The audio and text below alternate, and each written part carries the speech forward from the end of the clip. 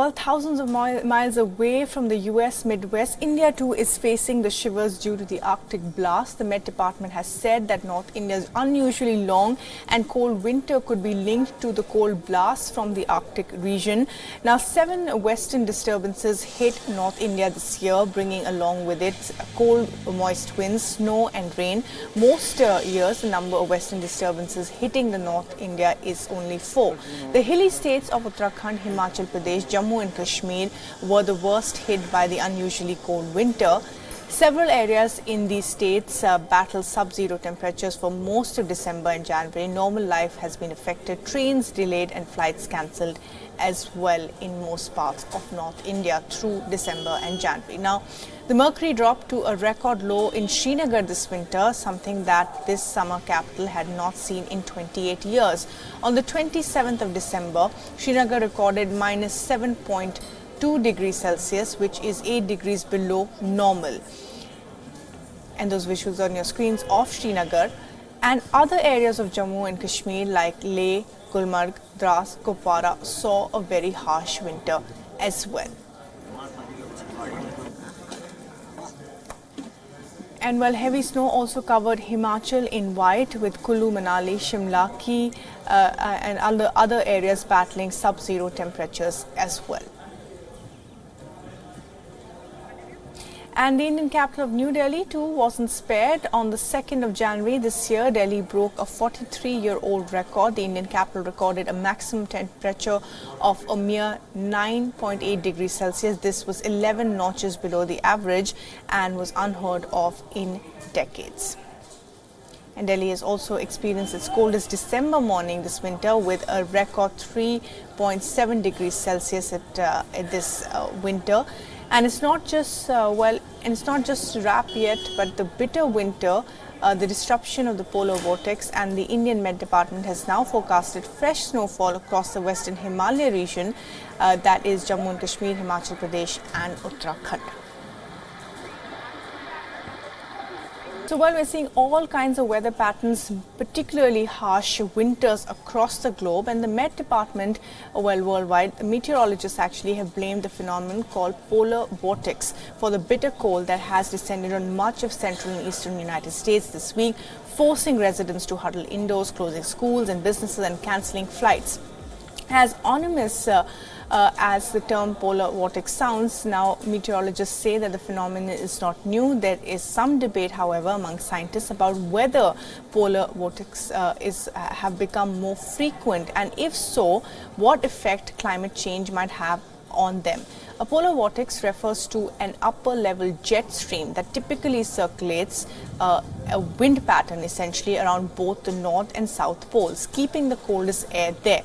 This winter in the US, uh, it happens to be, well, pretty extreme uh, example of some of the cold Arctic air making it down to the US. So basically breaking its vortex and moving towards the US. The potentially record shattering low temperatures descending on a large swath of the country may touch of a political debate over global warming.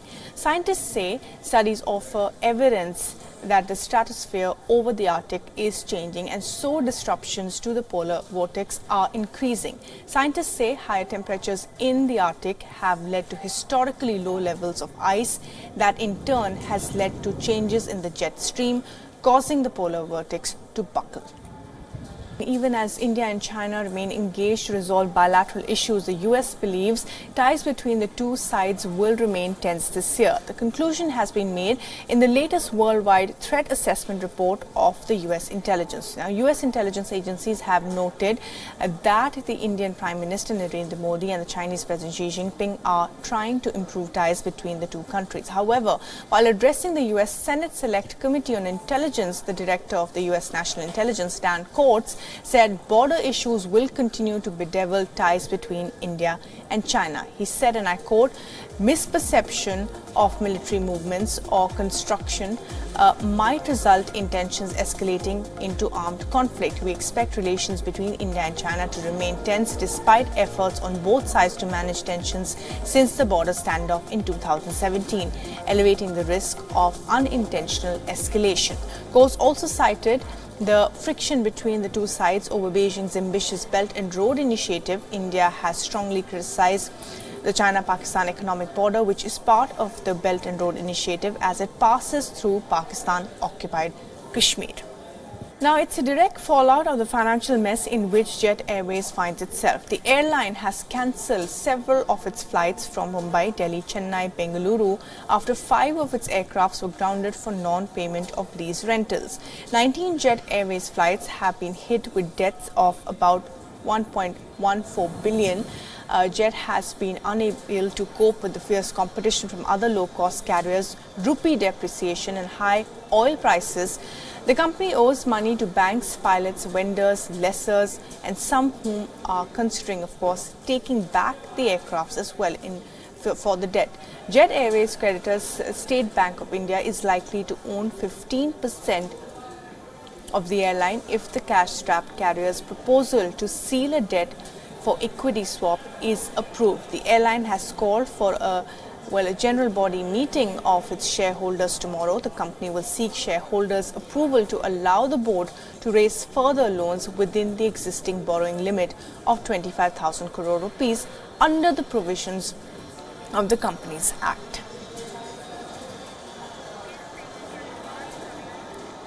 We're switching tracks now. In a few, your ideal hotel stay includes sleeping with sausage pillows surrounded by salami style wallpapers. Then it's time to head to Germany. A, sausage themed hotel offers its guests a unique experience which could be heaven for some, but absolutely appalling for others. What happens when a German butcher opens a hotel? Well, a vegetarian's worst nightmare. Sausages on the wallpaper, sausage shaped pillows, and bratwurst hanging from the ceiling. This is Germany's sausage themed hotel in northern Bavaria.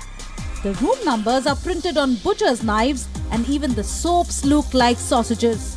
And in Franconia, the bratwurst is a client. I love that. I like to travel myself, and I always like it if it is a bit different. And in Franconia, the bratwurst is a culinary specialty. So I just wanted to get a bit of a holiday feeling in my house, connect guests from all over the world with the Franconian sausage, and make the bratwurst attractive for the whole world. The hotel's slogan, sleeping under a bratwurst sky, is not just a marketing tactic. Single rooms start at 78 euros a night, while a double room costs 98 euros. They all include breakfast with a healthy helping of, well, sausage of course. The restaurant downstairs serves a full range of sausage related dishes, including sausage ice cream. There is a sausage restaurant to eat here at the Bratwurst Hotel. Our name is what we do. There is everything related to Bratwurst. So, for example, there is a sausage schnitzel, or instead of a Zwiebel roast braten, an onion roast sausage, or just dessert, such as a Bratwurst baked apple or Bratwurst ice cream. So, there is literally only Bratwurst but in any possible form. And before leaving for home, guests can even stock up on meats at the hotel's shop or take a cooking course. This is one hotel no vegetarian would ever want to step in though. Bureau Report, WION, World is One.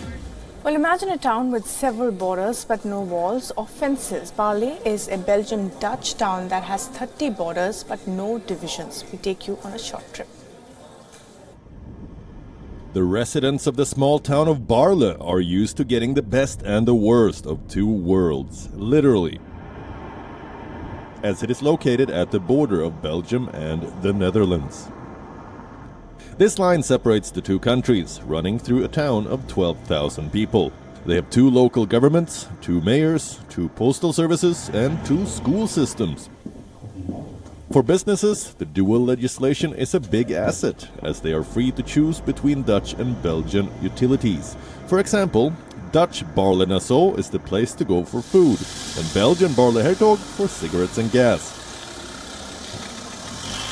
The good thing is that everybody can go shop things where they want. They can go to school what they look for the best for their children. They can go shop in a Holland uh, uh, wing, uh, a, a, shop, or they go go to the the petrol in Belgium. That's cheaper. The cigarettes are cheaper in Belgium So people are moving over and they, they, they, they take where it is best. Yeah? Problem is uh, that you have uh, sometimes have to do things double. And for instance, with uh, when your house is half Belgium, half Holland, you have to pay taxes in two countries and things like that. Until the Netherlands followed Belgium into the Eurozone in 2002, locals had to even carry two different currencies. You have to always keep in mind that you, there are that's a border and you have people working for the Dutch company or for the Belgian company. So it depends on uh, in which company they work. Uh, that means that they also have different holidays. Um, for example, there's a Belgian national holiday, then the, the guys who work in the Dutch company, they will be here and we have an advantage because there is always somebody in the company also on those kind of days. So we have uh, for the service, it's uh, a good job that they, uh, that there is always somebody available to help our clients. The 30 enclave patchwork that is Baarle traces its history from medieval landlords exchanging territory but deciding to keep the most cultivated, profitable parts.